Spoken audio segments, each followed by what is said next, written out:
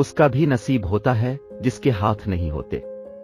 मालूमती दुनिया के दोस्तों, अस्सलामु क्या आप लोग जानते हैं कि दोनों हाथों से माजूर ये नौजवान कैसे सिर्फ़ चंद घंटे काम करके माहाना लाखों रुपए कमा लेता है?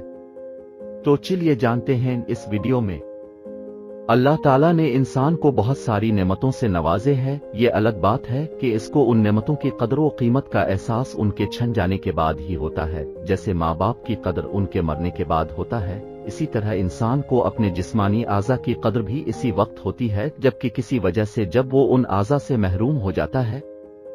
ऐसे ही एक नौजवान वारिस अली भी हैं, जिनका ताल्लुक ननकाना शरीफ से है। और इब्तदाई उम्र ही से गुर्बत के सबब मेहनत मजदूरी करके अपनी गुजर बिसर करते थे, मगर उनके लिए वो दिन किसी सानहे से कम न था, जबकि गंदुम की सफ़ाई करने वाली मशीन में इत्तेफाकी तौर पर वो गिर गए, और जिसके नतीजे में उनके दोनों हाथ बाजुओं तक किट गए।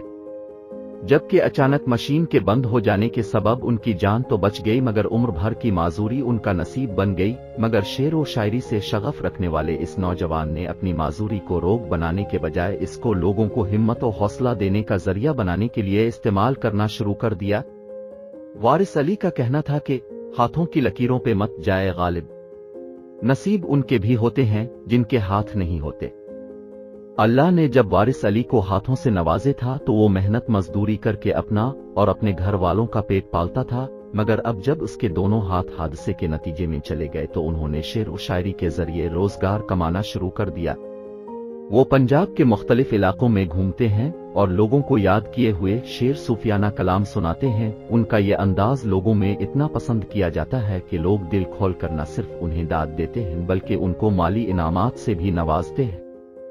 वारिस अली की मकबूलियत का ये आलम है कि हर रोज इसी तरह घूमते फिरते और लोगों को शेर सुनाते सुनाते वो दिन भर का पाँच से छह हज़ार रुपए कमा लेते हैं, जो कि माहाना लाखों रुपए बनते हैं।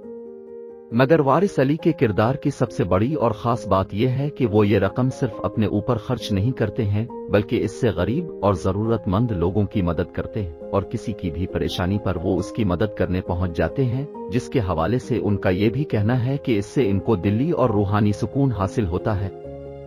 शादी के हवाले से वारिस अली का ये कहना है कि उनके दो भाई शादीशुदा हैं, और वो अपनी बहन के साथ रहते हैं, और वक्त आने पर शादी भी कर लेंगे। वारिस अली जैसे लोग हम सब के लिए एक मिसाल हैं, जो कि हादिसात के बावजूद और जिस्म के कीमती आज़ा से महरूम होने के बावजूद हिम्मत और हौसले के साथ न सिर्फ़ ज़िंदगी गुजार रहे बल्कि दूसरे लोगों की मदद करके उनका हौसला भी बढ़ा रहे हैं। मालूमती दुनिया के दोस्तों, हम उम्मीद करते हैं कि आपको ये वीडियो पसंद आई होगी।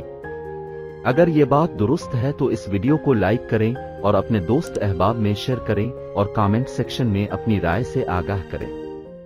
अगर आपने अभी तक हमारे इस चैनल को सब्सक्राइब नहीं किया तो पहले आप उसको सब्सक्राइब कर लें।